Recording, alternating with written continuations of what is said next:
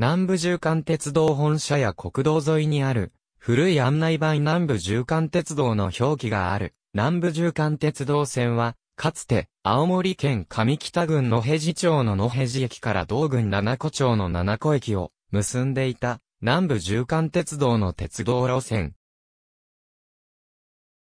旧型レールバスの運行が行われていた。1997年に休止、2002年に廃止された。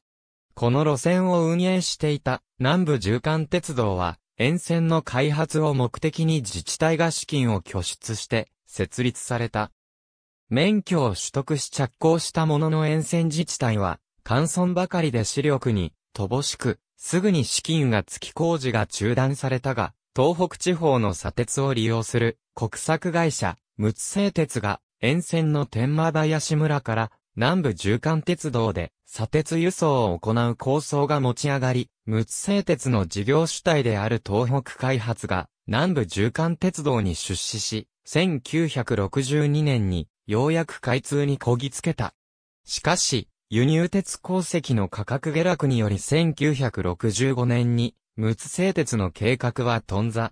天満林からの砂鉄輸送も、ほとんど行われないまま中止された。平行道路にバスが走っていることから、旅客も見込めず、1966年には、会社構成法の適用を申請することとなり、倒産、以後、構成会社の肩書きを持つ、鉄道会社となった。鉄道事業だけでは、経営が成り立たないため、自治体から、清掃事業や、給食調理を受託し、その収益で存続してきた。鉄道部門が赤字ながらも路線が維持されていたのは、東北新幹線青森延長の際には沿線に7個駅が設置される予定があり、旧来の路線を廃止し営農大学校前駅から新線を建設することで7個駅に乗り入れ、新幹線アクセスによる経営改善を期待していたからである。1981年、国鉄大畑線が第一次廃止対象路線に選定されると、上北、下北一貫の新幹線アクセスを意図して、大港線とセットで引き受けに名乗りを上げた。この際に、構成会社では、大畑線引き受けに不利となるとの判断から、1984年に構成計画を繰り上げて終了した。しかし、大畑線は、経営基盤防衛の観点から、地元バス会社の下北バスが引き受けることとなり、また新幹線青森延長計画も1988年に、ミニ新幹線、すなわち7個を経由しない案で決定となった。その後、国有地である旧東北本線の路盤を借用して運行してきた野平寺、ちびき間について、1995年12月に日本国有鉄道生産事業団から約5100万円で買取を要請され、その資金が捻出できないことから1997年に全線休止を余儀なくされた。その後、沿線自治体との調停によって、1998年6月に約450万円で路盤の買取が行われたものの、休止中に荒廃した鉄道施設の復旧が予想以上に困難であり、復活を断念。2002年に正式に廃止となった。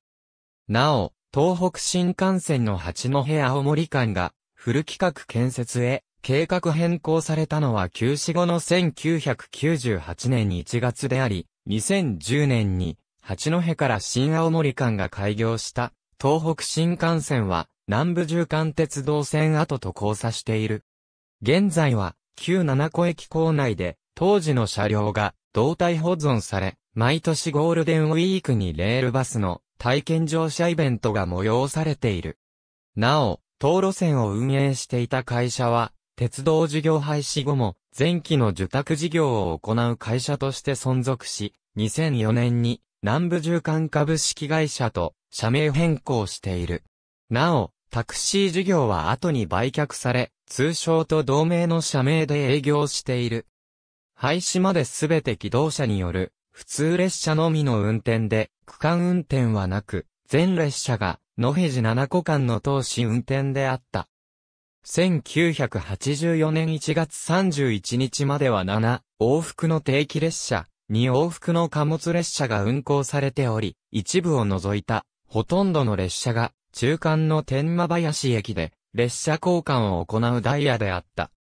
しかし、翌2月1日の国鉄ダイヤ改正で、貨物列車の運行がすべて廃止され、休日、急行日運休の列車も不定期列車に変更されたことで、定期列車は1日後往復となり、天満林駅での列車交換も不定期、列車運転時以外は廃止された。ただし、天満林駅での駅係員とのタブレット交換は毎日行われていた。